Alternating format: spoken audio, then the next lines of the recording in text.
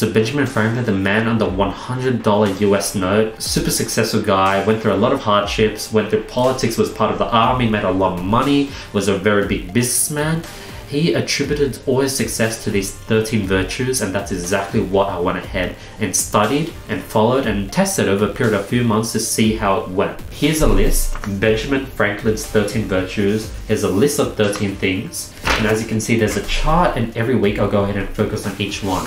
Now, I actually went ahead and been doing this for the past six months. I actually want to go ahead and throw it back to me in August of 2019. So today is the 22nd of August and I start Benjamin Franklin's 13 day routine where every week I spend one week just looking at one of his 13 virtues and I basically read it every day. Back in the day, he used business cards that he would keep in his pocket and he would look at every single day for that week. And I'm going to do this for the next 13 weeks. And apparently, if you do this 13 week routine, by the end of it, you're going to be a changed person.